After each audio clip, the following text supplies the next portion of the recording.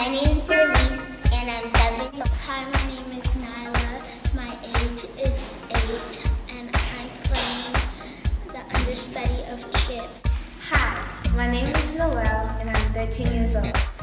My favorite part about tap dancing is you can make different sounds with your shoes. You get to make a lot of fun noises. The thing that excites me about this show is performing.